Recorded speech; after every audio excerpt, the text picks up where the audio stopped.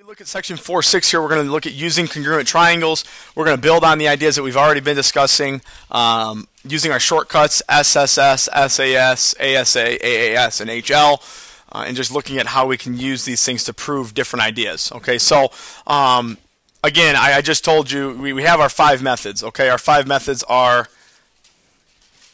SSS, SAS, ASA, AAS, and hypotenuse leg. Um, and again, this is the big idea. Okay, CP, um, CTC. What we're going to say is instead of saying that, okay, just to simplify, we're just going to say CPCF. Okay, corresponding parts of I'm sorry, CPCF, um, corresponding parts of congruent figures. Okay, so if two triangles are congruent, then it makes sense to us, hopefully, that all of their uh, corresponding parts are also congruent. Uh, and we're going to look at a few proofs um, as to how to use this. So, um, our task here in the first example is to prove that RT is congruent to LN. Okay, and so without writing a formal proof, the process is very simply first prove that your triangles are congruent. So right here we can see that triangle STR is congruent to triangle uh, MLN. All right, um, and those are congruent because of angle, angle, side. And because those are congruent, now we can say the very next step of our proof would be, okay, so RT is congruent to LN, and the reason would be CP, CF, corresponding parts of congruent figures. All right, part B, no different. Um, we're going to prove first that triangle CED is congruent to triangle uh, FGH. And again, we know that because of the angle side angle shortcut. Once I know that, now I can say angle D and angle H are congruent because of CPCF. Uh, and in reality, we really, in this particular proof, did not have to do all that because um, we saw a theorem earlier that says if two angles are congruent, then the third ones have to be third angles congruence theorem. Um, but if we want to use CPCF, that would be uh, kind of the process there.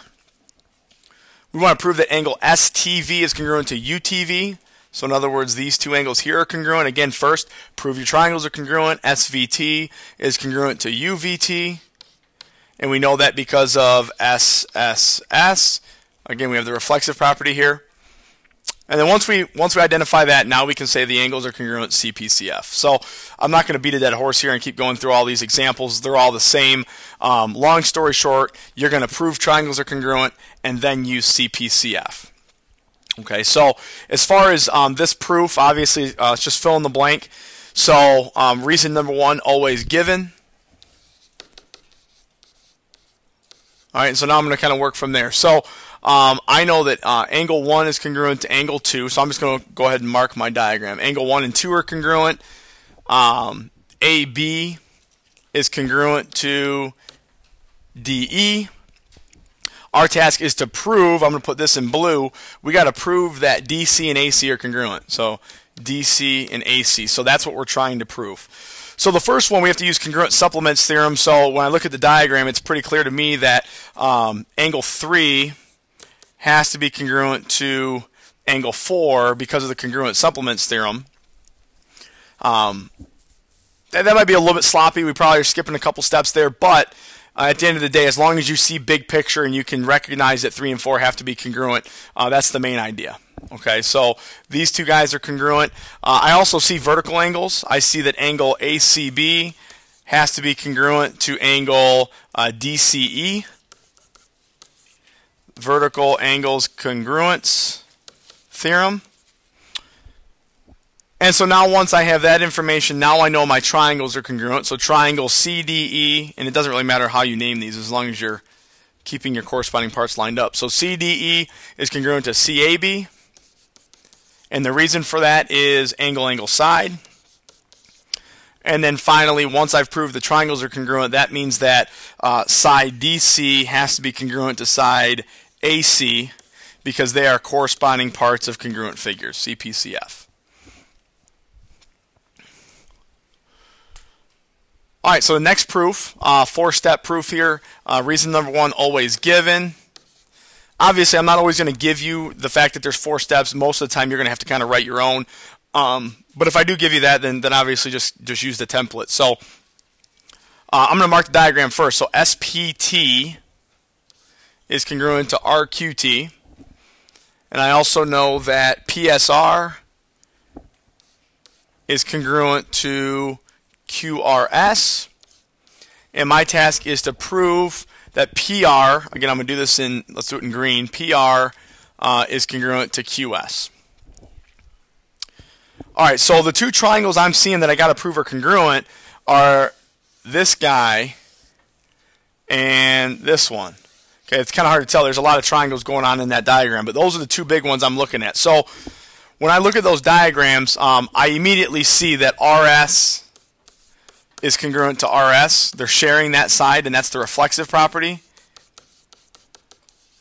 And so once I know that, now it's enough information to say that triangle um, PSR is congruent to triangle. Make sure your corresponding pieces line up. So if I said PSR, I got to say QRS.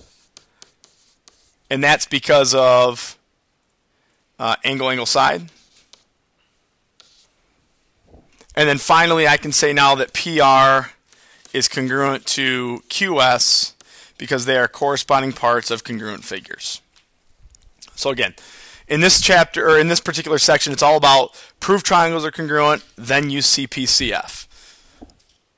So we're just going one step further than what we've been doing. So uh, we know that B is the midpoint of segment um, B is the midpoint of segment EB.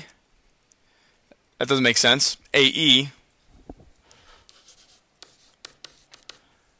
Angle D is congruent to angle C. And we got to prove that DB is congruent to CB. So reason number one is given. All right, and so start using your given information. If B is the midpoint of AE, uh, then that means that AB is congruent to EB. Definition of midpoint.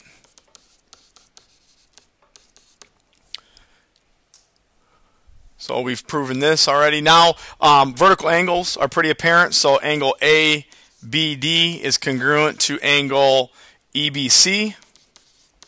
Vertical angles congruence theorem. So now that's enough information. Now I can go ahead and say that the triangles are congruent. So triangle ABD is congruent to triangle EBC. And again, that's angle, angle, side again. And finally, step five, DB is congruent to CB, CP, CF. Um, so again, just we're going to be proving a lot of different things. We're going to be proving that segments and angles are congruent. And in order to do so, we're going to prove triangles are congruent first and then use CPCF. So we'll look at some more proofs in class and uh, clarify any misconceptions that you might have.